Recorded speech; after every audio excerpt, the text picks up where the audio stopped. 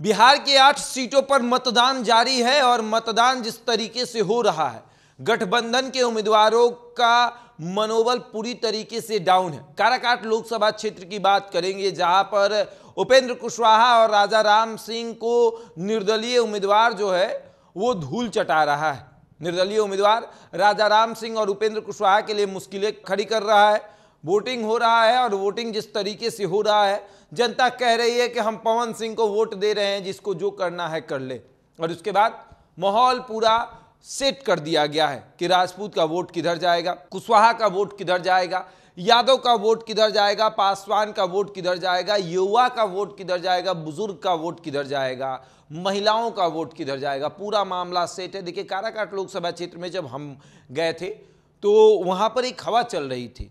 कि बुज़ुर्ग जो है वो उपेंद्र कुशवाहा के साथ जा रहे हैं। और युवा जो है, वैसे युवा जिनका वोटर आईडी कार्ड नहीं बना है, वो पवन सिंह के साथ जा रहे हैं। लेकिन जब हमने लोगों से बातचीत की, बुज़ुर्गों के ज़ुबान पर था कि पवन सिंह को वोट करना है। इसके लिए यह भी था कि पवन सिंह नए उम्मीदवार हैं। विरोध प्रतिशत बिल्कुल ज़ीरो।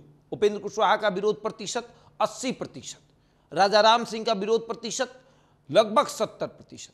लेकिन पवन सिंह का विरोध ज़ीरो प्रतिशत। आज वोटिंग हो रहा है और जिस तरीके से सोशल मीडिया पर तस्वीरें साझा की जा रही है, कैंची का बटन दबाते हुए ईवीएम का फ़ोटो लिया गया है। हालाँकि ये सही नहीं है, लेकिन फिर भी लोग करते हैं, लोग जताते हैं कि हम वोट कर रहे हैं। हम कैची को वोट कर रहे हैं, हम पवन सिंह को वोट कर रहे हैं। उस आधार पर अगर देखा जाए तो अभी पवन सिंह सबसे आगे चल रहे हैं। वहाँ के लोगों से जब हमने बात की, वहाँ के स्थानीय पत्रकारों से जब हमने बात की तो उन्होंने कहा कि देखिए, यहाँ माहौल इस बार बिल्कुल अलग है। निर्दलीय का बोलबाला है। और काराकाट में इस बार जनता तय कर चुकी है, क्योंकि हर बार ऐसा होता है कि माहौल देखकर जनता अपना मन बदलती है।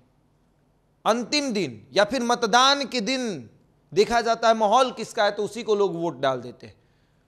सौ में से तीस प्रतिशत लोग ऐसा करते हैं कि हवा देखते, हवा का रुख देखते हुए अपना मतदान करते हैं। दस प्रतिशत लोग ऐसे होते हैं जो कि ईवीएम को देखकर मतदान करते हैं।